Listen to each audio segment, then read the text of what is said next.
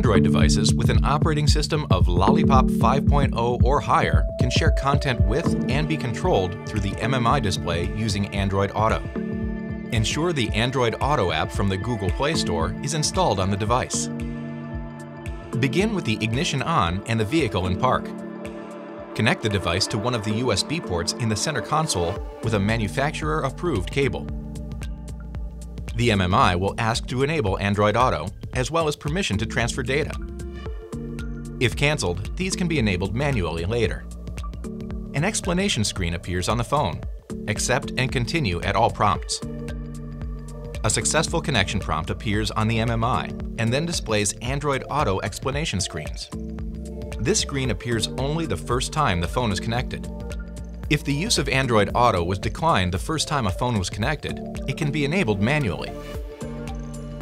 From the home screen, select Phone Apps, then To Connected Devices, then the desired Android Auto device.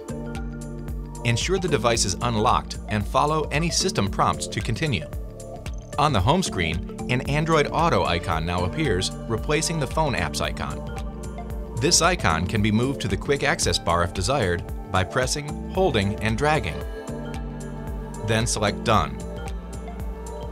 While using Android Auto, access additional apps for navigation or audio by pressing the associated icon twice. Then tap the respective icon to open the app. To return to the Android Auto home screen while in the Android Auto app, press the Home button in the bottom of the upper MMI display. To switch to MMI controls, select any icon from the Quick Access bar. Or select the car icon in the bottom right of the Android Auto main menu. Then select Return to Audi. Select the Android Auto icon to return to the Android Auto interface.